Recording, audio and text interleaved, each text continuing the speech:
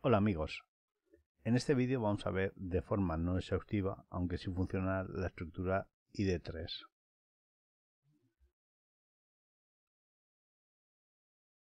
Esta estructura permite colocar dentro de los archivos MP3 pues información de título del álbum, del artista, etc. Actualmente hay dos versiones, la versión V1 y la versión V2. La versión V1 básicamente era la información del MP3, los datos de audio, y se anexaba un bloque de 128 bits con la información de título, artista, etc. Luego hubo una versión 1.1 que permitía también colocar el número de pista, etcétera. Bueno, vamos a ver la versión 2, que es quizá la que en este momento más interesa. De esta versión se sacaron, ahora mismo hay cuatro versiones, la 1, la 3 y la 4. Básicamente nos interesa la 3 y la 4. En la versión 2, desde la 1 hasta la 4, la información se colocaba antes de los ficheros de los datos de audio. Es decir, estaba primero la información del ID3 y luego a continuación los datos de audio. Vamos a ver. El ID3 versión 2.3 y es parecida a la ID3 versión 2.4 la única diferencia es las posibilidades de, de codificación. Bien veamos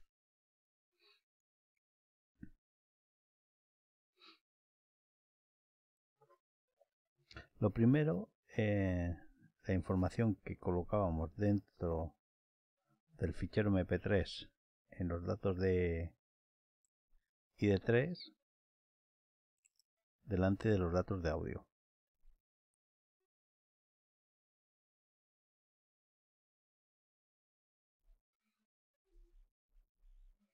Esta información son son 10 bits más los tags. Que puede haber x tags. Puede haber varios. Es decir esto básicamente son el id3 los 10 bits y a continuación el tag 1 puede haber el tag 2 tag 3, etcétera, hasta el tag n. Y luego a continuación los datos de audio. Voy un poquito rápido para entretenerme un poco más en, dentro de los tags, que es lo que nos va a interesar para poder, eh, poder extraer la información.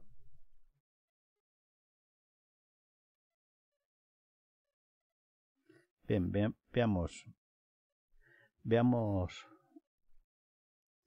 esto más detalladamente. Primer, primer bloque. Tenemos ID3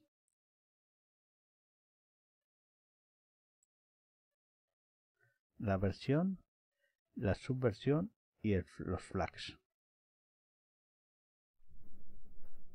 Y a continuación, 4 bits que nos definen el tamaño.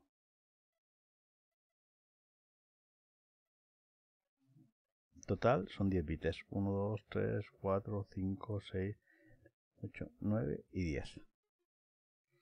10 bits.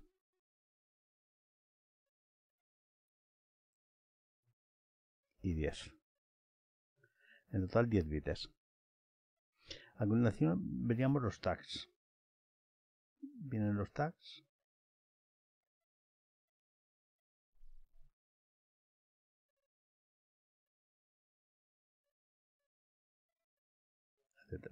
Vamos a ver los tags en, detalle. Los primeros cuatro bits del tag identifican el nombre del tag. En este caso vamos a poner el tag 1, pero estos hay unas etiquetas ya definidas, predefinidas. A continuación vienen cuatro bits que es el tamaño del tag.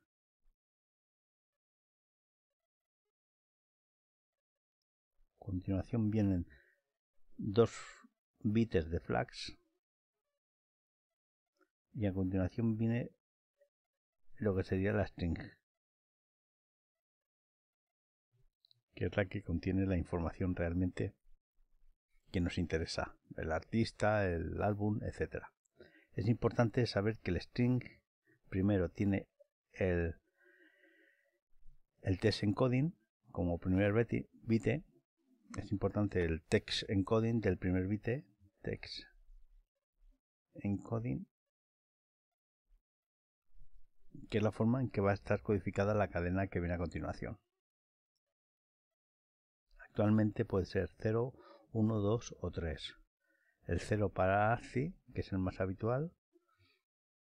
El 2 y el 3 son UTF-16 con particularidades y el 3 es UTF-8. Bien, esto es la estructura. Uh, es importante saber que el SICE, el tamaño, es los bits que ocupa el string incluyendo el test encoding.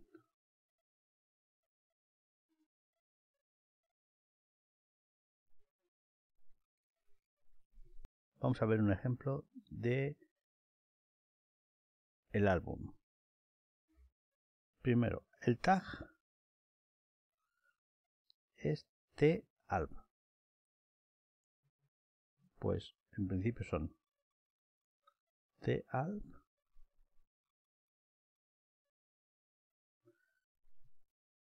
luego vendría el sice luego vendrían los flags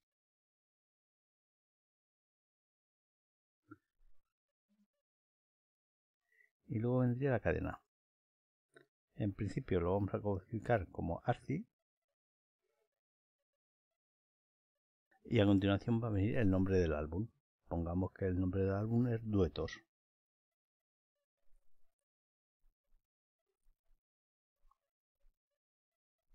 Esto sería nuestro tag.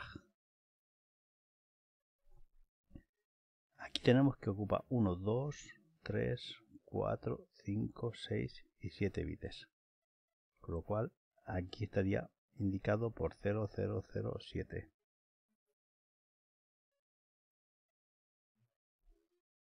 Los flags en principio no nos interesan. No es una cosa que nos importe. Lo que sí nos importa es esto y el tag, el nombre del tag. Hay que saber que aquí vendría a continuación otro tag. Bien, y de forma general tenemos que ya para ver todo en conjunto tenemos que tenemos una cabecera de 10 bits, el ID 3, donde nos va a indicar la versión y tal. A continuación, desde el 1 al 10. A continuación tenemos desde el bit 11 hasta el bit 20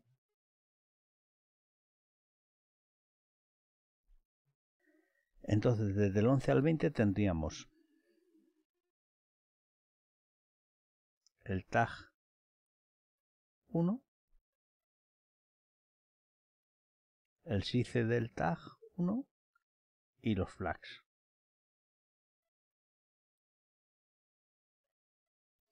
Y a continuación tendríamos el string.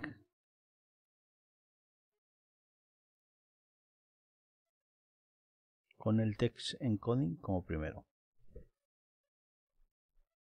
Aquí tendríamos a continuar después otro tag, el tag 2 lo que tenemos que eh, sacar es la fórmula de encontrar este tag en función de este tag.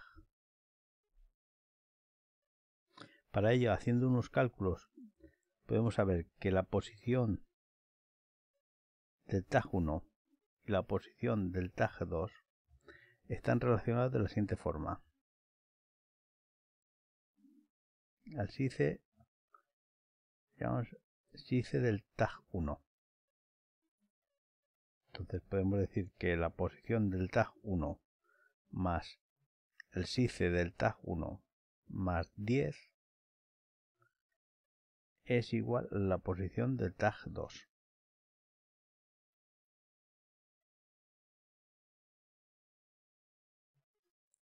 Forma general podemos decir que la posición del tag n más el SICE del tag n más 10 es igual a la posición del tag n más 1.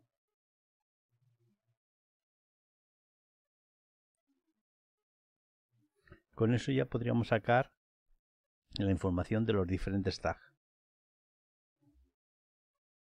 Algunos tags que vamos a ver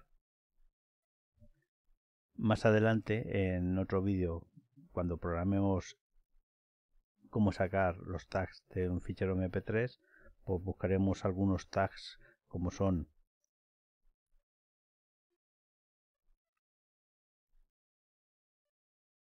el álbum, el compositor,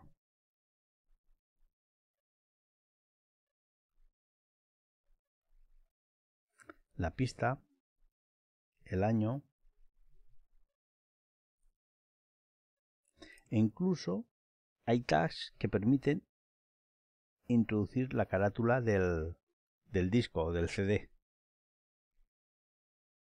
Un fichero JPG dentro de, del MP3. Por eso que a veces vemos eh, la carátula cuando estamos reproduciendo un fichero MP3.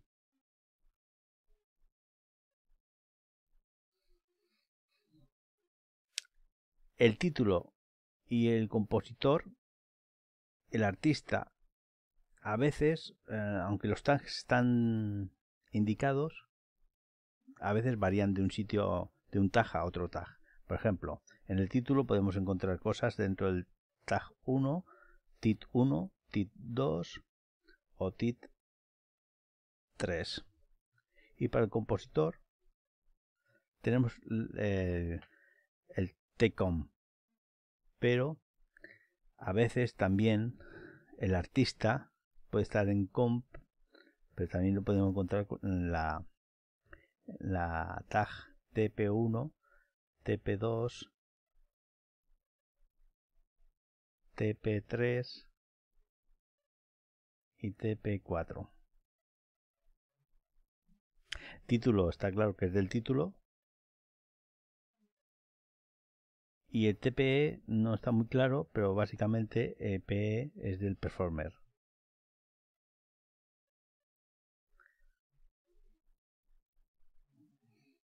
Bueno amigos, en un próximo vídeo veremos cómo programar para sacar la información en un lenguaje de programación.